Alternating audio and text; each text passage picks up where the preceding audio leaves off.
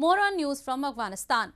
Gunmen killed three female polio vaccination workers in the eastern Afghan city of Jalalabad on Tuesday, officials said, adding that a blast also rocked the provincial health department headquarters during the same time, but left no casualties.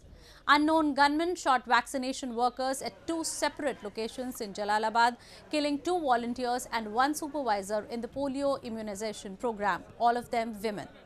There was no immediate claim of responsibility and the Taliban also denied involvement. A wave of assassinations has hit urban centers recently, many of them targeting professional women as well as government employees and members of media. Afghanistan kicked off a polio vaccination program this week only, backed by the UNICEF. Afghanistan and Pakistan are the only countries in the world where polio remains endemic.